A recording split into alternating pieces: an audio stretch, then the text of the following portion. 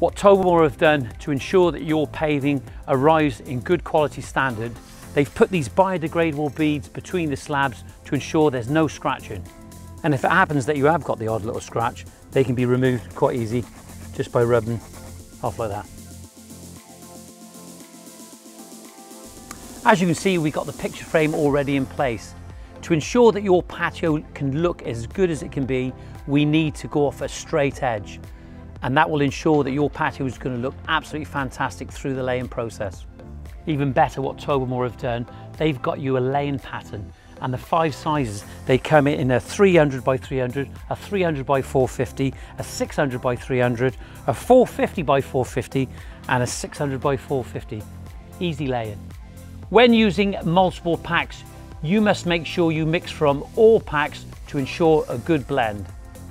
When using one pack, you must thoroughly mix the slabs to ensure a good blend. So I'm here with Sam.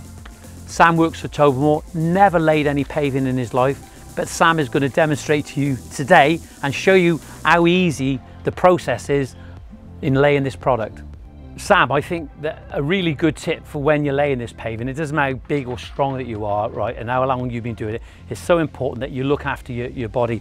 So what I would say is that when you're picking these products up, make sure you bend your knees, keep the body, keep the, the slab close to your body, so it just takes the weight off your back.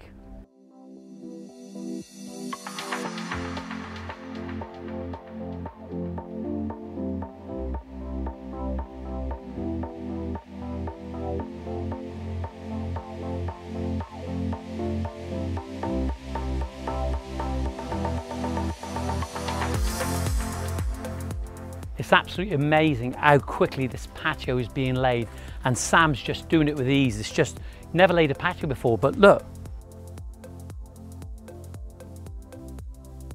You need to avoid those cross joints because it's a weak point and it, it doesn't look good aesthetically. But have a look, we've done this purposely so you can actually see it. This is what we call a cross joint where all slabs form on one cross.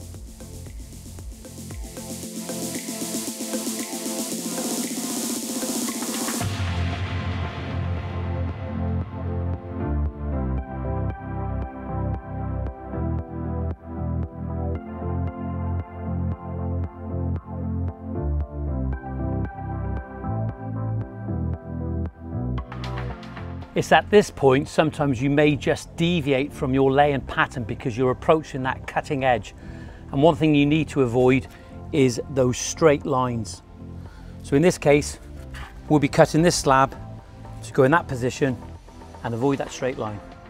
It's so important to understand that it's okay to put two 450 by 450s next to each other, side by side. It's absolutely fine as long as you don't repeat that pattern too much throughout your patio.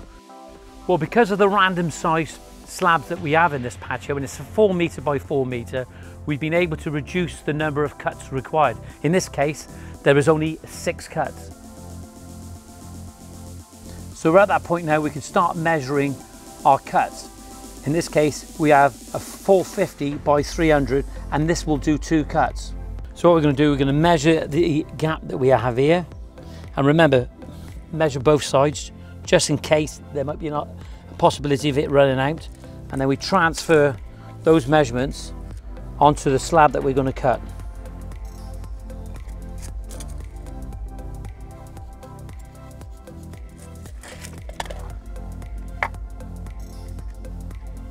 Once you have your cut piece, you can install it into the patio. It is important to place the cut edge against the border. So we've been able to get two cuts from one unit. You can cut this slab now using a disc cutter, or if you wish, you can hire a wet saw from your local tool hire. We thoroughly recommend when using a disc cutter that you use the correct PPE. In this case, goggles, mask, ear defenders, and gloves. In order to keep the dust down as much as possible, it's recommended to use a water suppressant feature like this with your disc cutter.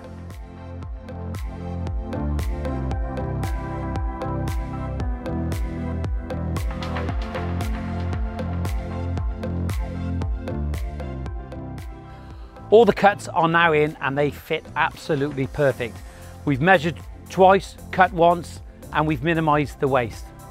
A major advantage of using the historic bracken is that they have these spacer nibs, creating the space which will allow you to brush your jointing compound into. Well, we're just checking the final levels of this patio and it's looking absolutely perfect. The major advantage of using the historic paving is that we don't need to compact it. But one thing that we need to do, we need to ensure that there's no lipping and we do that using a rubber mallet.